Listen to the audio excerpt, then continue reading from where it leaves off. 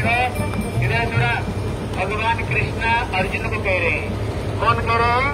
भगवान। भगवान कृष्ण किसको कह रहे हैं? अर्जुन को ये बात कह रहे हैं। बोले अर्जुन मेरे नाम को कौन ले सकता है? भगवान कहते काफ़ी लोग तो काफियों को मुँह से तो मेरा नाम ही नहीं निकलेगा। देखना दिन भर बैठ करके सासू बहू की बात करते रहेंगे उसकी बहू ऐसे कर रहे इसकी सास के साथ बोले हाँ दुनिया की बात बोलेंगे। बोले थोड़ा हरिनाम कर बोले समय कहाँ है हमारे पास समय कहाँ है लेकिन दुनिया की बात बोलो ना घंटे घंटे तक बैठ जाएगी। लेकिन मुँह से भगवान के नाम ही नहीं निकले क्यों पापी है ना वो पाप कर्म किए हैं। उनको तो दुनिया की बात अच्छी लगेगी। इसलिए भागवत में बताया जो व्यक्ति भगवान के नाम नहीं करके दुनिया की बात करते हैं भागवत कहता है उसका जीवा कैसे? मेढक। मेढक देखे हो कभी? कौन कौन मेढक देखा बताओ तुम? मंडप हाथ उठाओ कौन मेढक देखे। आप देखना तो जब बरसात का समय आए ना, वो मेढक टट्टर टट्टर टट्टर करता है। ये जो सांप है, वो सांप का आहार होता है मेढक अभी ये सांप सोचता है, भैया, हमें तो अपना आहार ढूँढने का ज़रूरत नहीं। मेरा आहार मेरे को खुद बुला रहा है। वो सांप क्या करता है? धीरे धीरे धीरे धीरे आएगा। आते आते, झट मेरे को पकड़ लेगा। उसी तरह जो व्यक्ति प्रभु का नाम नहीं करके ये दुनिया की बात ये जीवा में करते हैं तो एक दिन ये काल रूपी सर्प आकर के हमें निगल जाएगा। हमें आकर के निगल जाएगा। लेकिन जो प्रभु का नाम लेते हैं, जो प्रभु का नाम लेते हैं, ये काल उसको कुछ भी नहीं बिगाड़ पाते हैं। इसलिए भगवान कृष्ण अर्जुन को ये कहते बोले, अर्जुन, मेरे नाम को कौन कर सकता है? मेरे नाम को कौन कर सकता है? कौन कह रहे भगवान स्वयं कहते हैं। देखो, ये श्लोक है। बोले जन पूर्व सत जन्मम वासुदेव समर्चनम हरि नामानी सदा तिष्ठति भारत भारत बोला अर्जुन है जो भारत वर्ष में बोले हे अर्जुन जिसने पूर्व जन्म में सौ जन्म तक जिसने कितने जन्म तक सौ जन्म तक जिसने पूर्व जन्म में भगवान की सेवा पूजा कीर्तन की है ठाकुर की सेवा पूजा कीर्तन की है तब भी इसी जीवन में वो मेरे नाम को वही कर सकता है। पापी मेरे नाम को। आप लोगों ने वाल्मीकि का नाम सुने हो? कौन कौन वाल्मीकि का नाम सुने हो? बोलो तो। ये वाल्मीकि पहले दस रत्नाकर था। सुने कि नहीं? ये दस रत्न डाकू डालता था ये व्यक्ति। लेकिन जब नारद इससे मिले है ना, बोले, बाबा, निकालो क्या माल कोड़ी तेरे पास में बोले, बाबा, हम तो संत हैं। हमारे पास में तीन चीज़, लोटे, सोटे और लंगुटे बोले, कुछ भी हो, निकाल। तो नारद जी ने कहा ये बताओ तुम जी ये पाप कर्म करके पैसा कमा रहे हो इसका पाप कौन लेगा? बोले मेरी बीवी मेरे बच्चे मेरे पिता माता बोले देख ध्यान देख रहे सुन ये जितने दिख रहे हैं ना तु, तुम जो पाप कर्म करके पैसा कमा रहे हो सोच रहे हो उनका मैं पालन कर रहा हूँ लेकिन कोई लेने वाले नहीं कोई भी तेरे पाप को लेगा नहीं घर में जा पूछ कर गया हो गया? अपना बीवी से पूछा। बोले जो झूठ बेईमानी करके जो पैसा कमा रहा हूँ इसमें तुम अंशीदार है कि नहीं? बोले क्यों? तेरे को जन्म दिया लिखाया पढ़ाया इतना बड़ा किया तेरे को? भैया हमें पता नहीं तू कैसे पैसा कमाते हो? हमको पाप हमें अंशीदार पाप का मत बनाओ। इतने में अपना पत्नी से पूछा बोले तू ले, लेगे कि नहीं? बोले मैं क्यों दू? घर का काम मेरा तेरे बाहर का काम तेरा। घर का काम मेरा बाहर का काम तेरा। मेरे को पता नहीं तू कैसे पैसा कमाते हो? बच्चे से पूछे, बोले, क्यों बच्चों? मैंने जो झूठ बेईमानी करके पैसा कमाता हूँ हाँ डाकू डाल करके उसका पाप की अंशीदार बनोगी नहीं? बोले, क्यों? आपका कर्तव्य हमको पढ़ाया लिखाई करना। जब हम बड़े बन करके पैसा कमाएँगे, फिर हम सोचेंगे, हम तेरे पाप लेने वाले नहीं। बोले, बाबा तो सही बता रहे ये तो सबके सब हमारे जो सामने दिख रहे हैं, ये तो केवल आनंद लेने के लिए, सुख भोगने के लिए बैठे हैं। ये तो पाप लेने के लिए कोई तैयारी नहीं। वापस आया। वापस आकर के बोले, नारद जी के चरण में गिर गए। नारद जी के चरण में गिरे, बोले, बाबा, तुम तो सही बता रहे थे। ये तो कोई पाप लेने के लिए तैयार नहीं हो रही। ये तो केवल आनंद लेने के लिए तैयार है, सुख लेने के लिए तैयारी है बताओ, मैंने इतने सारे पाप कर्म करके पैसा कमाया। बताओ, उसको अभी मेरी मुक्ति कैसे मिलेगी? मेरी? बोलो, मेरी मुक्ति कैसे होगी? तब उन्होंने बोले, बोलो, राम। बोलो? ज़ोर से बोलो। और ज़ोर से? लेकिन उसको मुँह से राम का नाम नहीं निकला। क्यों? पापी था ना? अब देखना यहाँ पर भी ऐसे कुछ पापी बैठे हुए जिनको मुँह से अभी भी राम का नाम नहीं निकला। क्योंकि पापी है ना? पापी का मुँह से प्रभु का जो पुण्यात्मा उसका मुँह से तो ना, राम का नाम निकलेगा ना? इसलिए बोलो। ज़ोर से? बोले देख। लेकिन वो पापी था मुँह से तो राम नाम नहीं निकला। वो पापी है ना उसका मुँह से निकलेगा नहीं। बोले तू बोलता था मारो मारो, बोलते ना, डाकू डालता था, बोले मारो मारो। तो मरा मरा तो कर सकते हो। बोलते ना, मारो मारो। इसलिए तुम मरा मरा तो कर सकते हो। बोला हाँ इतना तो कर सकता हूँ। उसने, इसलिए श्री गोस्वामी तुलसीदास जी कहते हैं, उल्टा नाम जपत जग जाना, वाल्मीकि भय ब्रह्म समाना। आप लोग लब कुछ देखे हो टीवी में? कौन कौन देखे? हाथ उठाओ तो लब कुछ कौन देखे? आप लोग देखे होंगे ये लब कुछ कह रहे हैं भगवान राम को। क्या कह रहे हैं? बोले, आप आने से पहले हमारे गुरु जी श्री वाल्मीकि ने आपके सारे लीला को दर्शन करके उनने सारे आपका चरित्र को लिख दिया है। आपकी चरित्र को उन्होंने हमें पढ़ाया। अभी जो हम बता रहे हैं आपको अब लबकुश देखे होंगे, जब पूरा राम दरबार बैठा हुआ था, राम को सामने लबकुश राम कथा सुना रहे थे। सुने के देखे कि नहीं? कहते, हमारी गुरु जी देख लिया, पहले से ही, बोले, कैसे? बोले मराम मराम करते करते। अब लोग बोलो तो मराम मरा। ज़ोर से बोलो, तब मरा मरा भी नहीं निकल रहा है। मरते मरते निकल रहा है। बोलो, मरा मरा। देखना, अपने आप राम राम हो जाता है। जैसे मरा मरा राम हो जाता है ना।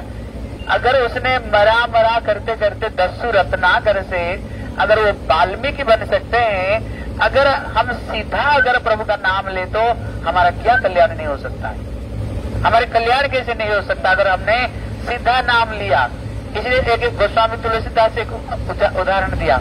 हम लोगों ने ज़मीन में कोई बीज बोए हो? कोई कोई ज़मीन में कोई बीज बोए? कौन हाथ उठाओ तो ज़मीन में किसी ने बीज कभी लगाया? हाथ उठाओ, कौन कौन लगाया ज़िंदगी में? कोई हाथ नहीं उठा रहा। कभी ज़मीन में पेड़ नहीं लगाया, बीज नहीं लगाया? इसलिए गोस्वामी तुलसीदास जी उदाहरण देते हैं। जैसे गेहूँ आप देखे होंगे गेहूँ कैसे लगाते हैं? ज़मीन में लेकर गेहूँ को ऐसे ऐसे फेंक देते हैं। फेंक देते नहीं कि नहीं? देखे कि नहीं कम से कम? लेकिन देखना, वो बीज उल्टा पड़े, नहीं तो सुलटा पड़े, लेकिन जो पेड़ होता है, कैसे होता है? पेड़ सीधा होता है। होता है कि नहीं? भले ही वो पेड़ जब बीज को उल्टा सुलटा पड़े कहते उसी तरह भगवान के नाम में इतने शक्ति, भले ही उल्टा सुलटा नाम क्यों नहीं ले, लेकिन जो फल होगा ना, वो सीधा ही नाम फल सीधा ही होगा। है? इसलिए भगवान राम अयोध्या वासियों को बैठा करके समझा रहे हैं। क्या समझा रहे हैं? बोले हे अयोध्या वासियों ये जो मानव शरीर है ना एक क्या बात कर रहे हैं? इसलिए ये जो मानव शरीर है भगवान समझा रहे हैं अयोध्या वासियों को। बोले ये चौरासी लख जन्मों के बाद में एक बार ये मानव शरीर मिला है, है? एक बार मिला। ये मानव शरीर भगवान बारम्बार नहीं देते हैं। कहते लाख चौरासी भ्रम के ये नरक अनुदय चौरासी लक्षों के बाद में जब जीवन मिला ये सहज में जीवन नहीं मिल रहा है। ये कौन कह रहा है? भगवान राम कह रहे हैं। किसको कह रहे हैं? ये अयोध्या वासियों को समझा रहे हैं। बोले, हे अयोध्या वासियों बोले, साधन, धाम मोक्ष करे द्वारा पाई न जई पर लोग सवारा हिंदी समझते हो कि नहीं सब? कौन को नहीं हिंदी समझते हो? सब हिंदी समझते हो। देखो, ये शब्द को देखो, भगवान राम क्या कहते हैं? बोले, ये मानव शरीर नहीं, ये चौरासी लक्ष्य जन्म के बाद में ये मानव शरीर नहीं, मुक्ति की दरवाज़ा में तुम खड़े हो। इसी जीवन में ही कृष्ण कृष्ण राम राम बोल करके ये भवसागर से तुम पार हो सकते हो। लेकिन जिनको प्रभु ने ये मानव शरीर दिया, लेकिन कृष्ण कृष्ण राम राम कुछ भी नहीं बोले दुनिया की बात बोलते रहे। भगवान कहते हैं, अगले जीवन में फिर ये मानव शरीर तुमको नहीं मिलेगा। ये शरीर तुमको ठाकुर जी नहीं देंगे बोले तुमको जीवन दिया तुमने क्या किया? बताओ, खाए, पिए, दो चार बच्चे जन्म देकर तो मरी गए और क्या क्या ज़िंदगी? इससे सिवाय और कुछ किया किया, क्या? बताओ ज़िंदगी में क्या किया? लिखाई, पढ़ाई किया, नौकरी किया, दो चार जन्म, बच्चे जन्म दिए, बस मर गए। बोले, जानवर भी तो करते हैं। सोरों को देखो, कुत्ते को देखो, कितने कितने बच्चे जन्म दे रहे और एक एक महीना में बच्चे को बड़ा बनाकर छोड़ रहे तुमने कौन सा बड़ी तीर मार दिया तुमने? हाँ ये भगवान राम कह रहे हैं। लेकिन ये मानव शरीर को इतना दुर्लभ क्यों बताया? बोले, एक ही कारण है, इसी जीवन में प्रभु का नाम को लेकर के संसार से बाहर हो सकता हो। मानव जन्म के सिवाय कोई जानवर गद्दे कुत्ते को बोले, राम राम, कृष्ण कृष्ण बोले, बोल पाएँगे? बोलो, बोल पाएँगे कि नहीं बोल पाएँगे? कौन बोल सकता है? इंसान बोल सकता है। इसलिए भगवान कहते हैं, मुक्ति के दरवाज़ा पर तुम खड़े हुए हो। चौरासी लख जन्म भटकते भटकते। अगर ही जीवन में भजन नहीं किया, खाली केवल घर गृहस्थी करते हुए जीवन बिता दिया फिर ठाकुर जी ये मानव शरीर नहीं देंगे, फिर मुक्ति भी नहीं मिलेगी। फिर वही चौरासी लख जन्म में भटकते रहो। पेड़, पौधा, कुत्ते, सुअर होकर घूमते रहो। इसलिए भगवान कहते ये जीवन रहते क्या करो? भगवान की भजन में लग जाओ। क्या करो? ठाकुर जी की भक्ति में लग जाओ। इसलिए एक बार हाथ उठा करके बोलो। बोले, हरे कृष्णा हरे कृष्णा। कोई बोल नहीं रहे ज़ोर ज़ोर से। अगर लड़ाई हो ना, देखो कैसे तेज अगर इसी कोने में लड़ाई हो ना, गाँव को उसी कोने में पता चलता किसी घर में लड़ाई हो रही है। लेकिन आप बोल रहे हो मेरे तक आवाज़ नहीं आ रही मैं इतना ज़ोर से गला फाड़ रहा हूँ। ज़ोर से बोलो, सबके सब। बोलो बोलो। अरे, कृष्णा हरे कृष्णा कृष्णा कृष्णा हरे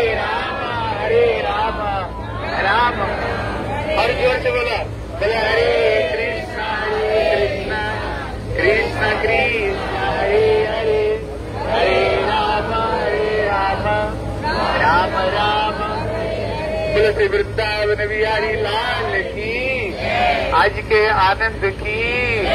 जय जय श्री राधे। बोले श्री महाप्रसाद की। हाँ देखो, प्रसाद तैयारी है।